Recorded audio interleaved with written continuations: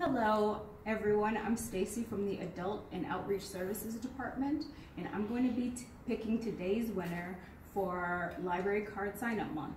Did you know you can get one-on-one -on -one job counseling here at the library? And that's just one reason why the Niles, Maine District Library Card is the best deal ever. And now for our drawing.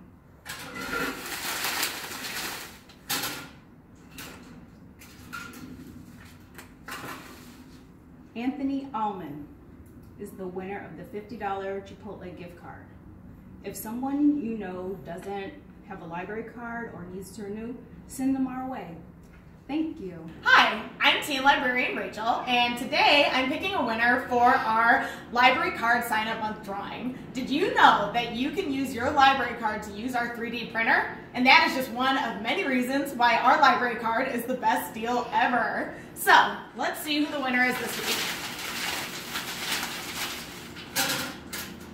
And it looks like the winner of $50 in Starbucks gift cards is Jocelyn Suggs. So Jocelyn, be on the lookout. We're gonna try to contact you through via email or phone, and you can come pick up your gift cards at any time. Um, if you happen to know someone who doesn't have a library card with us or needs to renew theirs, please send them our way. Thank you. Hey everybody, I'm Victoria from Tech Services, and today I will be choosing a winner for our library card sign up month drawing. Did you know that with your library card, you can check out things like Roku's, GoPros, and hotspots. And that is just one of the things that makes this library card the best deal ever. Now, on to the drawing. Today we'll be giving away a $50 gift card from Target. And our winner is